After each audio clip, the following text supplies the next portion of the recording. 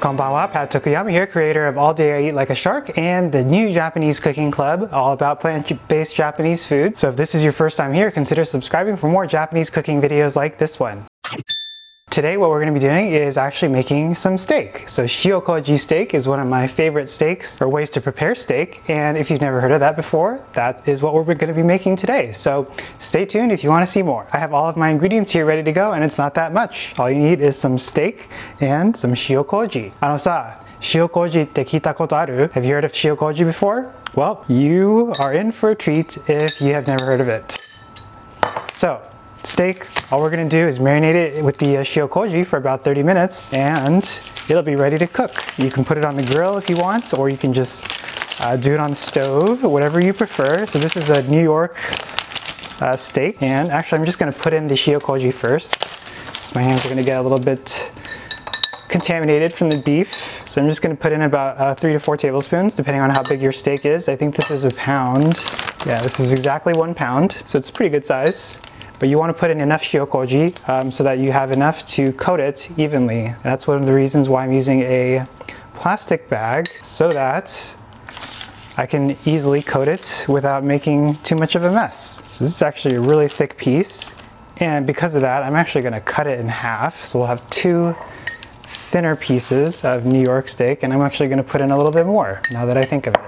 I'll just do another tablespoon two tablespoons. So five tablespoons total. And we're actually gonna cut this. So we'll use my mini cutting board here.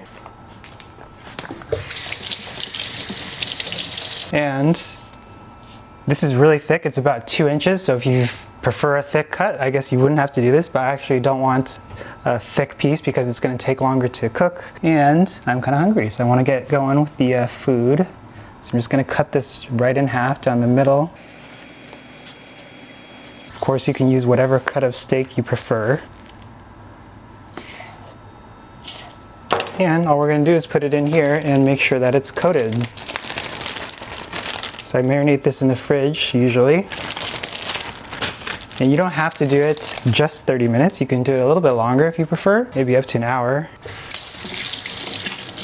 Actually, once you use shiokoji in your marinades for steak and fish, for example, like we're doing today, you may never want to go back to using just salt because it's that much better.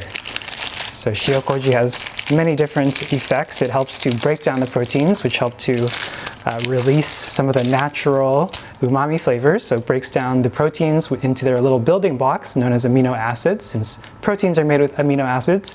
And when those amino acids get uh, freed from the proteins, that generates or creates umami. Umami is known by several different compounds that have been isolated. So inosinic, inosinic acid is one, glutamic acid is another, and there's many other umami compounds as well. So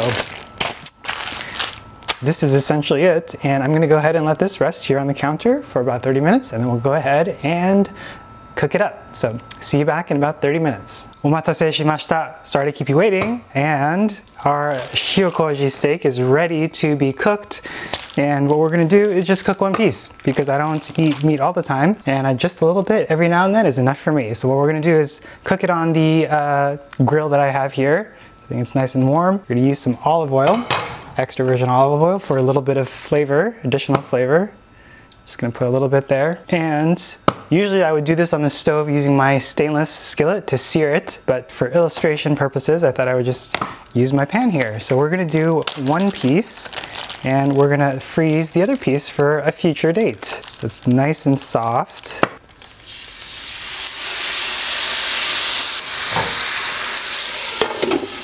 So we'll let that go for a couple minutes until it gets a nice brown crust on the bottom and then we'll flip it over and uh, continue cooking it. And for this piece, we can go ahead and stick it in the freezer and it should be good for uh, a few weeks. Okay guys, so it's been a couple minutes. What we're gonna do is flip this over. You, be, you should be able to see there's a nice brown crust going on down there. You can see that beautiful crust.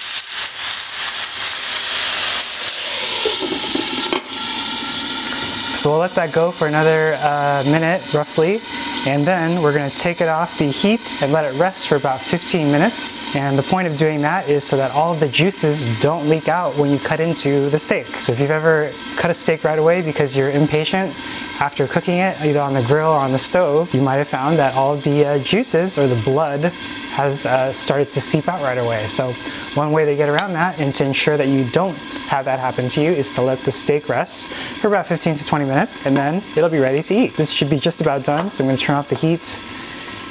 And I was making a little salad here for the uh, side. We have some homegrown mizuna here, if you're wondering what this is. It's hydroponic mizuna same stuff that they sell at the market, at least at my, my local market, except I grew it. So this will be a little bit of, a, of vegetables, a decent amount of vegetables to add to our dish.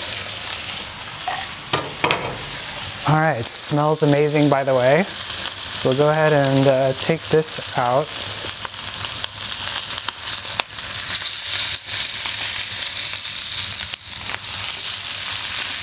You can see the other side is nicely crusted right there. Just go ahead and let this sit on my plate and rest. And now we can continue to make our salad. See you guys back in about uh, 15 minutes after it has rested and we'll do a little cutting. And uh, I like my steaks somewhat on the rarer side, so that's how we did it today. If you like your steaks more cooked, then you might need to cook it a little bit longer. You can always use a uh, meat thermometer to check with the internal temperature. That'll give you a good idea of how well done your steak is. So obviously this is a thinner cut. We cut it to maybe about three quarters of an inch to an inch thick. So depending on how thick your steak is, that might take a little bit longer to cook as well. So keep that in mind and I'll see you guys back in uh, a little bit. Okay guys, so the steak has now rested for a good 20 minutes. What we're gonna do is cut it. I took the liberty to uh, go ahead and serve myself some rice um, and also some miso shiru. So Zakkokumai is what this is. It has the little grains in the, the rice and that's why it's a little bit purple. It has some black bean or red bean.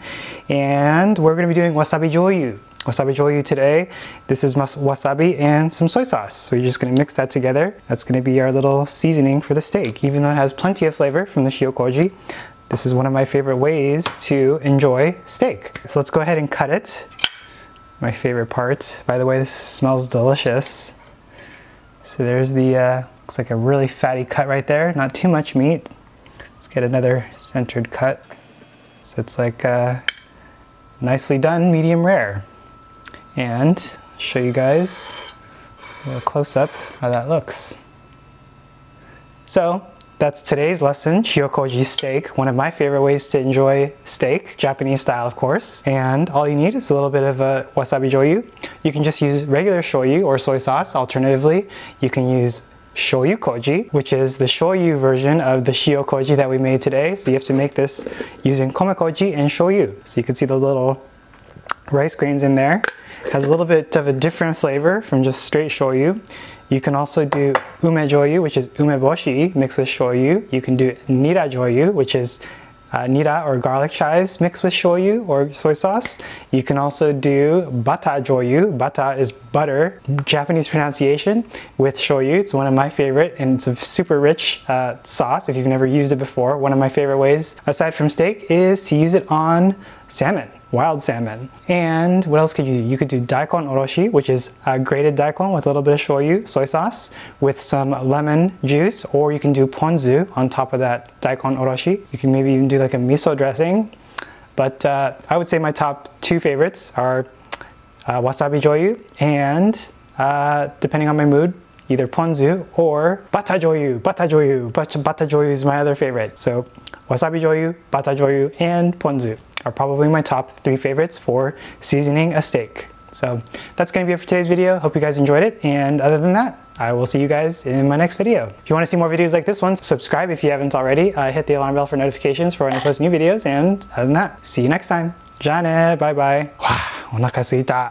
Onaka suita means I'm hungry. I'm very hungry. You can also do momiji oroshi, which is a little bit of red pepper mixed with the daikon and then grated. Uh, and you can also try like an onion, an onion dressing with steak. It's one of my other favorite ways. And of course, sesame with salt, sesame oil with salt.